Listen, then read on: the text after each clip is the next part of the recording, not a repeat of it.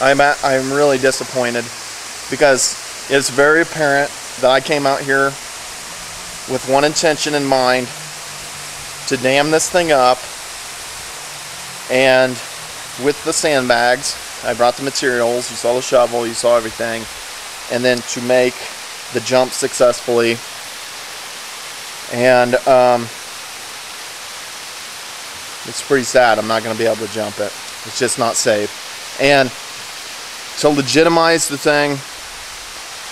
I actually have decent jumping skills. A lot of people